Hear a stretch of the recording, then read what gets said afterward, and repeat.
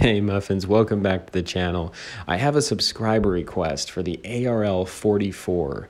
Uh, very capable tank. Um, I do have a tips and tricks playlist I'm putting together if there's a tank you're struggling with, shoot over there. There may be a tank I've already done a video on that could help you out.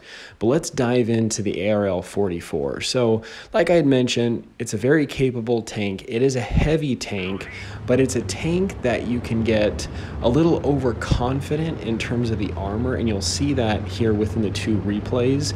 It does have a decent armor profile, not saying it doesn't, but it's one that you very so much have to utilize the landscape to still protect yourself, and you have to know basics such as side scraping. So here, I'm trying to get myself up on the front lines and want to be in a place that I can not only be in a supportive position to support my team, but my my team also has visibility on me so they can also support me as well if I ever get in trouble.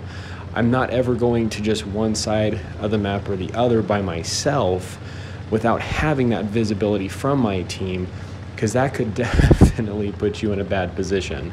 So you'll notice here, okay, it looks like the enemy went town. I need to get myself, like I had said, on the front lines.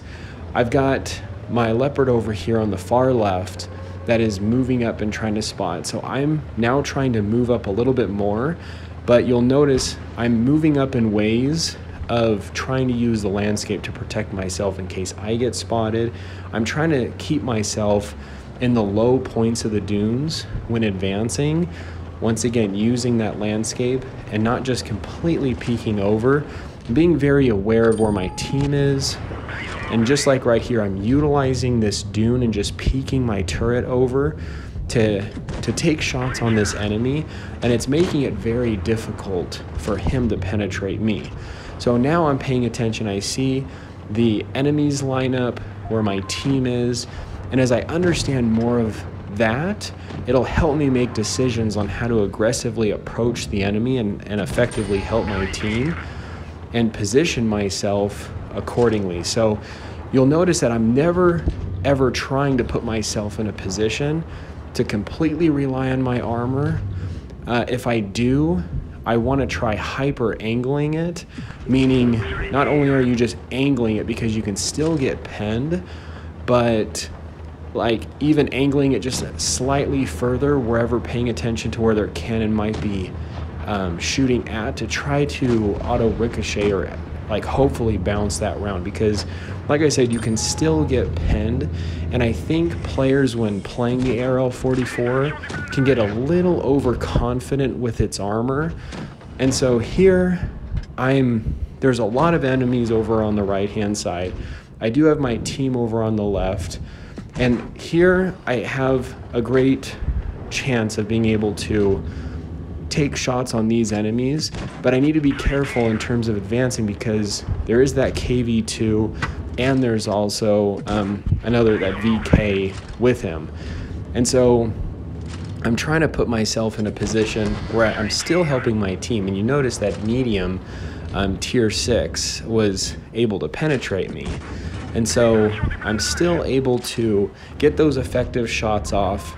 You want to make sure you're Definitely not tunnel visioning because the entire time you'll notice I'm using my third person view and I'm always paying attention to where my team is and where my enemy is. And so here, even with that KV2, like even with a heavy tank, I, I do mention this in some of my other videos. Um, if you watch the one on the LTTB in terms of understanding when it uh, makes sense to engage and when it makes sense to disengage. So where that KV2 and that VK was there, I wanted to make sure, even though I was more of an engaged position, and I didn't want to take a KV hit, so I needed to disengage, which is why I backed up kind of behind that hill to protect myself, but I could still focus on getting shots on the team and also even wiggling your tank back and forth, even when you're cresting hills and things like that, you noticed in the previous replay, it'll help tanks miss and it makes it harder for them to aim. So Anyway, going here into the second replay, I'm going over here more into a center position to try and help my team out as much as possible. Now, this guy, I'm not sure necessarily what he's doing, but I wasn't really too worried about it just because, once again, I'm keeping myself within visibility range of a teammate. So I had the SU with me. And I'm trying to cut over here to the center to also help and support my team and be up on the front lines. So here, I'm trying to advance. I'm trying to get myself on those front lines.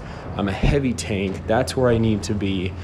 And I'm trying to be very aware. So even when crossing an area like that, I knew from even below that an enemy could potentially hit the side of my turret. So I turned my turret to face toward that direction. So if any shot were to be taken, it would hopefully bounce the shot off my turret. So in utilizing the strong points of your armor, a lot of the time using a heavy tank is understanding your um, your tank's armor and understanding the enemy's penetration. So here, I'm using a little bit of that landscape to try to protect myself. He doesn't have a full view of my tank, and I do have a little bit of visibility into those weak spots.